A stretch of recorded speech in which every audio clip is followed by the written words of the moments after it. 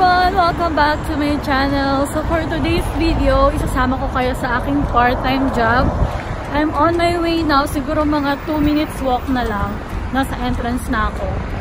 And I reckon I'll be working until 7 or probably 10 p.m.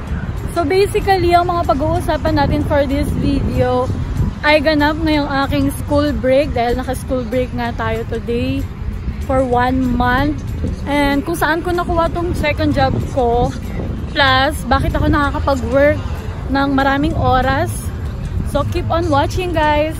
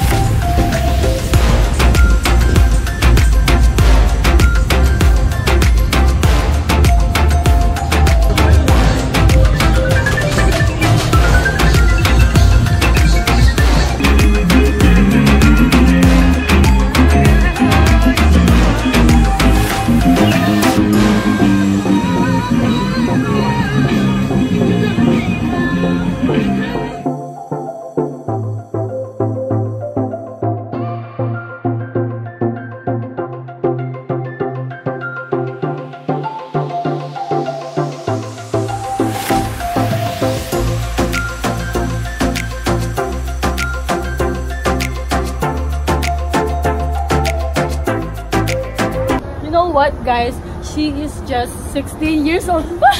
say hi! Just say hi! She is just 16 years old. Imagine that!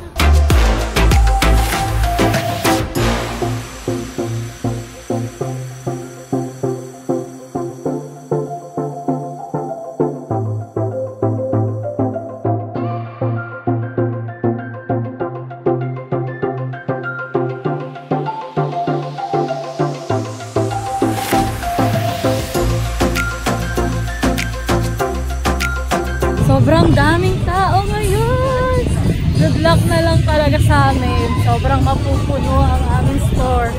For sure, mahabang pila ngayon sa store namin dahil dito pa lang sa mga rides, ang haba ng pila.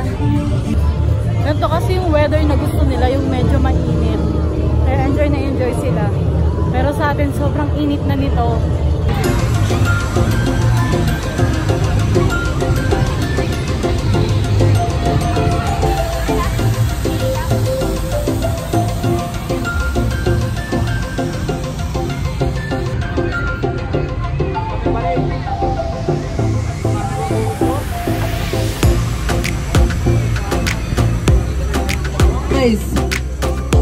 Luck with your heads down, your eyes on your targets. In three, two, one. That's it, beautiful. Keep it in the middle, guys. First one to the top on this one. Walk home with the prize.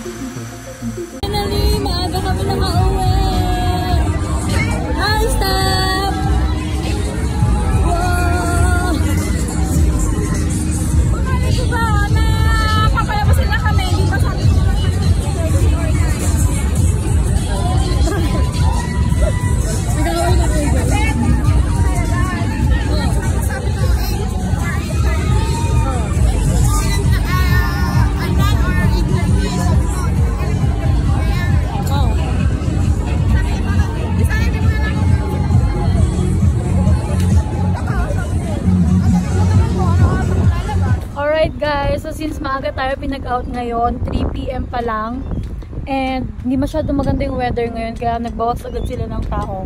So ang mga natara doon ay si Steph, si Alex, and Wendy. Oh, this one is from Wendy. I know she will watch this video. Hi Wendy! Nakita nyo naman kanina sa video, ba diba? 16 years old lang siya, but she's really doing well. Na, hindi mo aakalain na 16 lang siya. Kasi kung kumilos siya para siyang ka-age namin, dito naman sa Australia, legal age na mag-work ay 16 above. So, allowed naman siya na mag-work. Medyo mas mababa lang ng konti yung rate niya compare sa amin. And ngayon, kumakain ako ng Dogwood Dog. Nag-take out ako bago umuwi. So, they call this event as 102.3 Holiday Fanfare. Fanfare. So, majority sa mga customer namin ay bata, but they accompanied by their parents. Kasi, ang alam ko, semester break ngayon dito. So, timing talaga siya para sa mga students at sa mga bata. Itong fair na to, um, alam ko may bayad yung entrance dito eh. Parang $3 ata. Plus, yung babayaran mo sa rides na nasa $4 above. Well, kung i-convert mo sa peso, medyo mahal. Pero kung pera nila dito, mura na yun sa kanila. Let's talk about na how did I get this job. So, nakuha ko to through referrals. So, ang nag-refer sa amin ay si Ate Mary Ann. Classmate ko siya. And kung nanonood ka Ate Mary Ann, thank you so much sa'yo. Um, ang alam ko, may nag-text lang sa kanya kasi nag-work na rin siya last year dito. So, may nag-text sa kanya, nagpapahanap ng mga tao.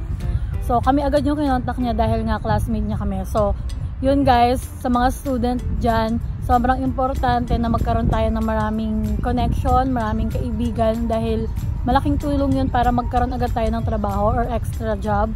Nagawa na pala akong video na ganyan guys. Tips yon para sa mga incoming students na maghahanap ng trabaho pagdating dito. And yung mga nawalan ng trabaho dahil sa COVID, panoorin nyo guys, ilalagay ko yung link dito sa taas. Makakatulong yan sa inyo. So ayun nga, kinonta kami ni Ate Mary Ann kung available ba kami. So since school break naman kami, push agad kami. And then, nag-conduct lang ng interview. Sobrang mabilis lang ng interview. And then yun, nag-start na agad kami last Friday. So, parang five, pang 5 days na ata ngayon. Ano ba ngayon? So now, bakit ba ako nakakapag-work ng unlimited hours? Since holiday break kami, allowed ang mga students na mag-work ng unlimited hours. Sa school namin, meron kaming one, uh, one month na holiday break or school break. Sa ibang school, parang 2 months or ilang weeks lang. Iba-iba tayo. Depende siya sa school. So, that's the time na makakapag-work tayo unlimited. Sakto naman na may fair ngayon. So, ginrab agad talaga namin. And kung meron kayong employer, pwede nyo siyang i-request or sabihin sa employer nyo na pwede kayong mag-work ng unlimited hours sa ng isang buwan. Sa experience ko, yung manager ko, hinihingan niya ako ng letter galing sa school para pag kinwestiyon silang ng immigration or ng ATO, meron agad sila mapoprovide. So, take note yan guys. Pwede tayong mag-work unlimited hours applicable lang yun guys sa mga student na enrolled and nag-start na yung intake date nila. Plus, good thing, dito kami sa Adelaide na punta guys kasi um, sa ngayon walang COVID cases dito, ilang months na ata. Kaya nakakapag-fair sila or event. Pero sobrang higpit pa rin guys kasi sa entrance pa lang kailangan mo mag-register para sa COVID. Tapos may mga COVID marshals and meron pa rin namang social distancing. And kailangan mag-sanitize kami every 15 minutes. Yung mga pagkain, hindi pwedeng mag stay ng 1 hour, tinatapon agad pag matagal na. And lahat ng matitira, tinatapon lang. So, before we end this video, um, sa Calvary ako nagtatrabaho. So, ang trabaho ko doon ay cashier and minsan ako rin gumagawa ng orders. Sobrang dali lang niya guys and sobrang nakaka-enjoy kasi halos kasama ko lahat ay mga students. And kung i-compare ko siya sa fringe, yung nag-work ako doon, sobrang laki ng difference. Doon, sobrang busy. Pero dito, As in, sobrang konti lang ng tao. Siguro dahil na rin sa weather kasi ilang araw nang umuulan. And itong event pala, maglalas siya until October 5. So, 10 days siya. So, punta kayo guys kung meron mang nanonood sa akin na taga Adelaide. So, that's ends our video guys. Uuwi na rin ako bago pa umulan. Thank you so much for watching and see you on my next vlog. Stay safe. Bye!